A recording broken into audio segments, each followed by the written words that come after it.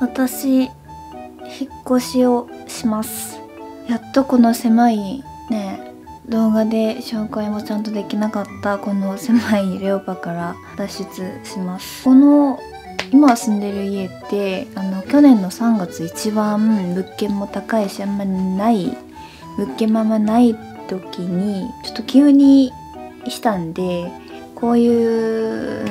のとこしかできなかったんですけどいやでも本当にびっくりしたのが 1K のマンションに引っ越しをするのに初期費用ってこんだけかかるもんですかね。で日本って、まあ、韓国みたいに初期費用あの保証金が何百万ぐらいかかるわけでもないんですけどでもいろいろ合わせたら意外と結構かかってで今今はこの家の間取りはワンルームで引っ越しするとこは 1K なんですけど契約金だけで28万5千円ぐらい、うん、28万5千円ぐらい。それ以外にもこの今の部屋の日割りでの家賃含めて掃除代合わせて6万3000円。いくらやったっけ？これだけで35万円ですよね。まあでも式例がないからまあまあまだ良かったんですけど式例っていうのはまあ簡単に言うと韓国では保証金みたいなことなんですけどまあえー、他何？他に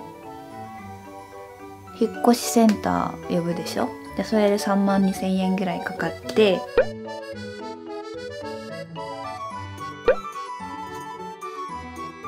特別割引をさせていただいて税込みで4万5千円となります。これさんとしてはいかがでしょうか？他の業者さんにも見積もりを取ってるんですけどう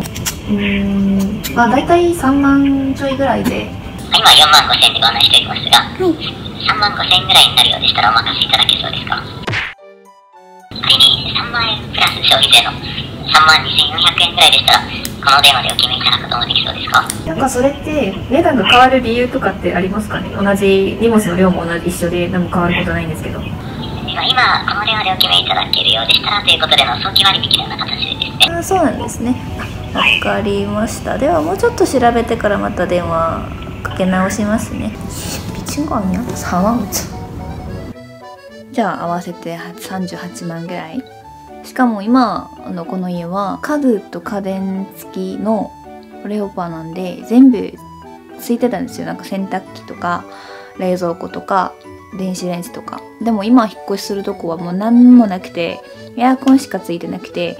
それを全部買わないといけなくてじゃ必要なものだけ買うとしてもベッドいるでしょ？洗濯機いるでしょ？冷蔵庫電子レンジ電子ケトルあ電気ケトルお掃除機合わせたらいいかあカーテンまあ安いもん買うとしても45万円ぐらいは合わせてかかるんじゃないかな。以上かかるか。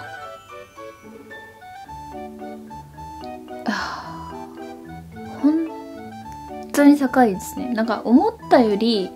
めちゃくちゃお金がかかってちょっとびっくりしている状態です。引っ越しはマジで本当にあとちょっとですけどたまたまなんか仕事もなんか増えたりとかしてる時期だしうん。まあでも頑張って仕事してお金稼いでまあ大体50万ぐらい一気でなくなるんですけどまあそれの倍以上何倍以上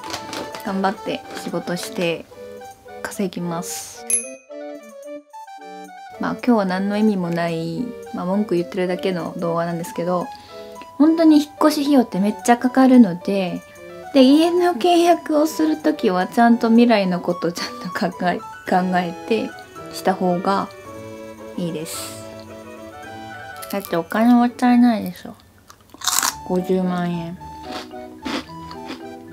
本当にこれ全部片付けるのに一生かかりそう。てか服が多すぎる。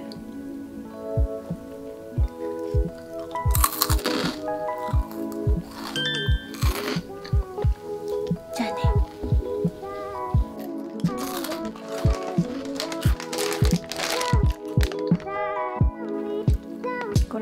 しいやつなんですけど結構美味しいです。明太子味のエビせん。